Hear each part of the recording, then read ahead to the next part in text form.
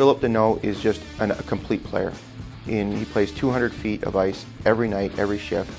He's playing with a lot more confidence this year. He's built up his strength. He's protecting the puck, and he makes tremendous plays with the puck. You know, I can take the puck away from the other team pretty quick, and then we we go we attack uh, in the offensive zone, and uh, I guess my uh, puck protection is pretty good too. So. Uh, Got to keep going on that. Phil's a hard-working guy, both ends of the ice. Um, very responsible on his own end. Uh, he's a guy that can play center. He can play wing. He's he's very good on draws. He kills penalties for us, and he also has offense to his game as well.